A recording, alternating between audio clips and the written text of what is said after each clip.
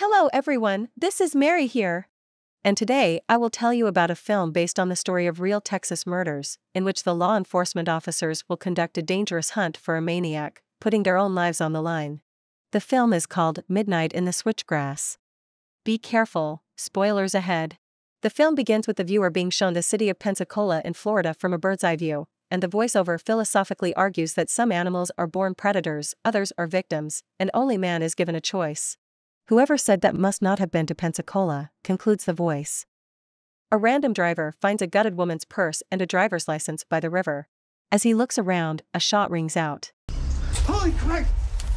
The man is frightened, but then a much more terrible find awaits him. Aside, hidden by reeds, lies the corpse of a young woman in torn clothes with marks of beatings and bites on her body. The detectives who arrived at the site of a terrible find carry out routine work, and here we first get acquainted with one of the main characters of the film, policeman Byron Crawford, who approaches his colleagues and asks a few questions.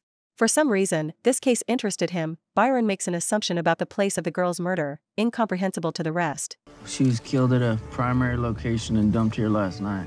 But the details are not yet disclosed to the viewer.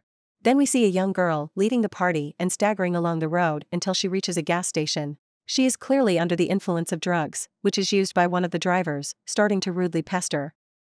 However, another man hits him on the head and takes the ill witted girl into his truck, explaining that it is not safe at the gas station. The last frame shows surveillance footage of the incident, hinting to the viewer that the police will soon be investigating the case as well. Meanwhile, FBI agent Carl Helter is monitoring a roadside motel from his car while his partner, the pretty Rebecca, poses as a girl of easy virtue in one of the rooms. But here's the bad luck the man who came to the meeting turns out to be not the one the agents are looking for. This is a local pimp who scared off a potential client and came to explain the new rules of work in his territory. The operation is thwarted, and it would be necessary to leave, but the rudeness of the man infuriates Rebecca. She stops the attack attempt and, in response, beats the impudent one. At the same time, the driver of the truck, Peter, is taking a girl picked up at a gas station to his home. He tells his fellow traveler about his little daughter, whose photos are attached to the control panel, says that she will certainly be delighted with her, and the girl is not afraid. In the morning, Byron Crawford has to endure a real battle with his boss. He angrily chastises the man for being obsessed with one thing and does not listen to objections. Byron's attempts to link seven murders into a single series, to involve the feds in the case, to do something to move forward in the investigation, the chief rejects. He removes the man from the case, but Byron cannot be intimidated by severely knitted eyebrows. He promises to look for the killer of the girls, even if the rest of them do not care. And I just can't seem to reconcile that no more. Rebecca also has a hard time. Yesterday's scandal forces the FBI to curtail the operation to capture the criminal operating on I 10 and send partners to another location. The woman seethes with anger and bluntly declares to Carl that she will not budge until she meets with the suspect, who was frightened off by an unlucky pimp yesterday. Byron is investigating the murder of the girl Sarah, found by the river at the beginning of the film. Her mother greets the cop unfriendly, but the cop's sincerity wins her over. I guess I appreciate the honesty. A woman tells a visitor about her difficult childhood with an alcoholic father, about a difficult relationship with her daughter. Sarah moved out of the house almost a year ago and didn't understand men at all, no wonder she suffered. The woman realizes that the killer is unlikely to be caught, but asks Byron to inform her if this does happen. Will you come back and knock on this door? Depressed, Byron returns home. The sight of his wife playing with the child briefly distracts him, but soon thoughts of work, murders, and disappearances of people again pile on the policeman. The wife comforts Byron, almost verbatim repeating the man's own words. Besides him, the missing girls have no one to rely on. And that's why these girls need someone like you. The driver of the truck also returned home. The girl is not with him, and the viewer can only guess where she is now. A man spent a cozy evening with his wife and daughter Bethany. They talk warmly, have dinner, and only the message that Peter needs to go again into the night makes his wife gently reproach him for being away too often. You know, we're out here in the middle of nowhere with two neighbors we barely know. Everything looks completely innocent. True, in a minute we meet a loving husband and father in a cheap motel, where he is lured into the room by a prostitute. At first, it seems that the man does not mind relaxing, but instead of a pleasant continuation of the evening, he pounces on the girl and strangles her. In the morning, Peter's daughter plays in the field. Her ball rolls to a half buried pipe in the thicket. Bethany is examining the find curiously when stifled sobs come from the chimney. I wonder if there's anything in here. The frightened girl runs away, and plaintive requests for help rush to her back. Help. Is anybody there? Cries the girl taken away from the gas station, whom Peter left tied up in some dark room with an outlet pipe. Byron Crawford arrives to investigate another murder. This is again a young girl found in a hotel bathroom with her head broken in six places. Carl and Rebecca also arrive there, who yesterday in vain waited in ambush for the suspect. The local detective rudely tells them to get out. FBI leadership is required by protocol to contact local police before allowing officers access to a crime scene. The suppressed agents leave. Rebecca is especially worried, confident that she could have prevented the murder if she had caught the maniac in time. The partners are followed by Byron, who shares the details of the investigation, reports the girl missing from the gas station. It turns out her name is Tracy, and leaves a business card asking him to call if fresh information appears. At home, Peter is going through an amazing metamorphosis.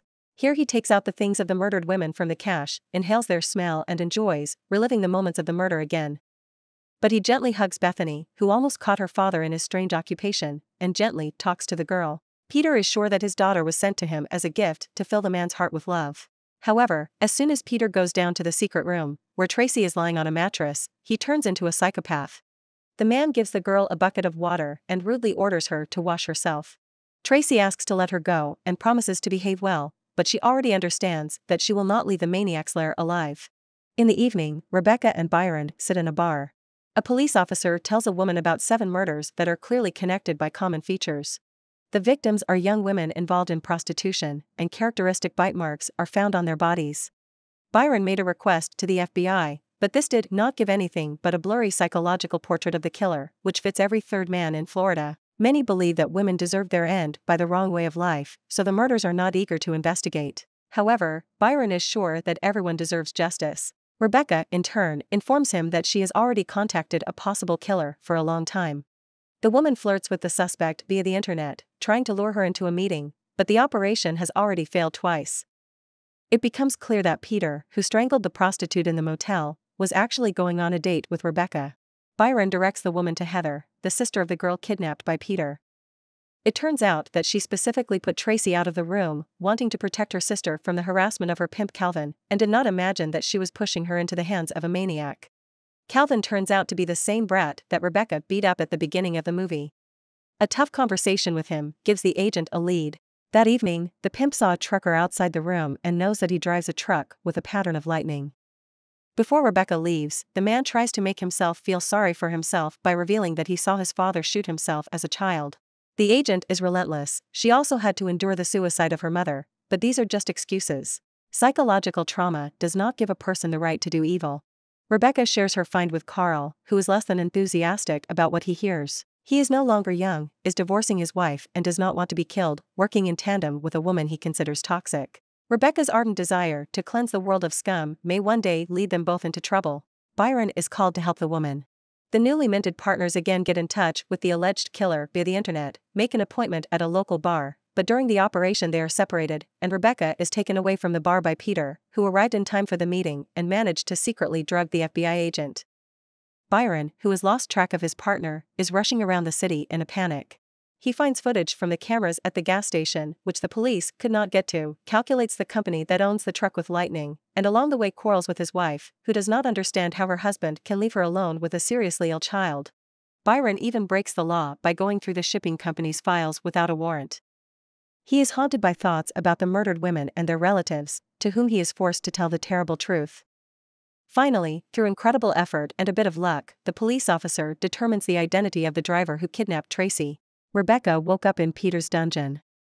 She is chained to the wall and exhausted, but finds the strength to first make the mortally frightened Tracy respond, and then persuade her to try to escape, reminding the girl of her sister and strengthening her faith in herself. Okay, I need you to do it for Heather. Because she loves you. Tracy breaks open the grate of the air duct and crawls out through the pipe to freedom. She hides in a tall grass field and takes refuge in the house of Peter's neighbor. Following the girl on the porch, the kidnapper appears, who heard his daughter's screams about a man running across the field. Daddy! Somebody's outside running through the field! And rushed to check on the captives. He manages to get into the neighbor's house, using her dog as an excuse, but Tracy manages to hide behind the sofa. An enraged Peter returns to the dungeon, where he beats, strangles, and interrogates Rebecca, while Byron is talking to the truck driver's wife just a few tens of meters away. The policeman hears the echoes of a nearby noise. He heads for the sound with his gun at the ready and is almost too late to help. During the beating, Rebecca managed to pick up a screwdriver from the floor, which, at the first opportunity, she sticks deep into the chest of the kidnapper. However, this nearly costs the woman her life. Without Peter, there is no one to take her out of the loop, and Rebecca gradually loses consciousness. Looks like it's time for her to die. The woman returns to consciousness already in a hospital bed. Byron and Carl are on duty nearby. The partner explains that Rebecca will have to wait until her throat heals, after which she can speak. The rescued Tracy is taken away from the neighbor's house in an ambulance. Peter's wife and daughter, stunned by what has happened, are taken outside.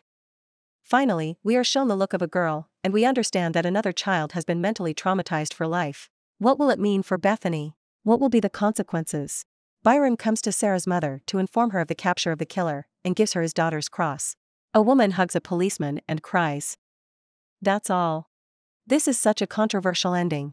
He evoked ambivalent feelings in me. On the one hand, the maniac was eliminated, the main characters survived, and justice prevailed. On the other hand, nine people died. Be sure to write your opinion on this film in the comments. Don't forget to like the video and subscribe to the channel to be the first to watch my new retelling and hit the bell to get notified.